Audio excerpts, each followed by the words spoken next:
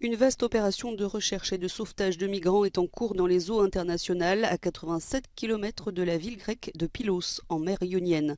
Plus d'une centaine de personnes ont été secourues et transportées par bateau à Kalamata, une ville du sud du Péloponnèse, où leur accueil a été organisé en collaboration avec le secrétariat général de la protection civile.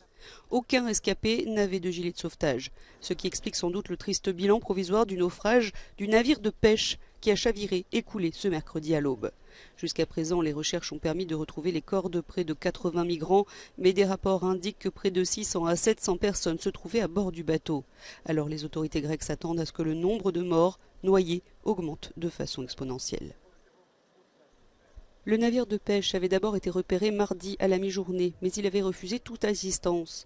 Dans la soirée, un navire de la marine grecque avait de nouveau approché le bateau, confirmant l'existence d'un grand nombre de migrants sur le pont extérieur.